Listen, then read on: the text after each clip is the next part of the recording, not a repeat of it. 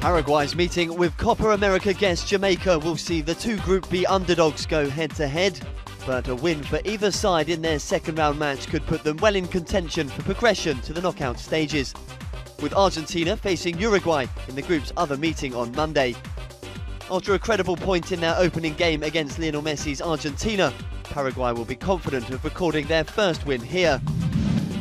The 2011 runners-up have lost just one of their five Copa America meetings with CONCACAF opposition, but that loss was a 6-0 humbling at the hands of Mexico in 2007. They also hold the upper hand in their head-to-head record with the Caribbean Islanders, winning three of their five meetings. Although Jamaica have claimed victory in their last two encounters against Paraguay, keeping a clean sheet on both occasions.